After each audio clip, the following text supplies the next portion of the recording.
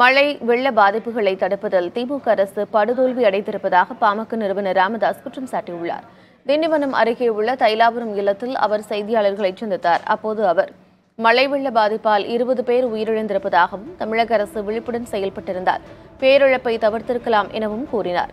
சாத்தனூர் அணை திறக்கப்படுவதாக நள்ளிரவில் எச்சரிக்கை விடுக்கப்பட்டதால் அது மக்களிடையே சென்றடையவில்லை என்று குறிப்பிட்ட ராமதாஸ் அணையிலிருந்து ஒரு லட்சத்து நாற்பத்தெட்டாயிரம் கனஅடி தண்ணீர் திறக்கப்பட்டதால் நான்கு மாவட்டங்கள் பாதிக்கப்பட்டிருப்பதாகவும் தெரிவித்தார். வெள்ளம் பாதித்த பகுதிகளில் அனைத்து பணிகளும் சிறப்பாக நடைபெறுகிறது என்ற மாயை தோற்றத்தை உருவாக்க தமிழக அரசு முயற்சி வருவதாகவும் குற்றம் சாட்டியுள்ளார்.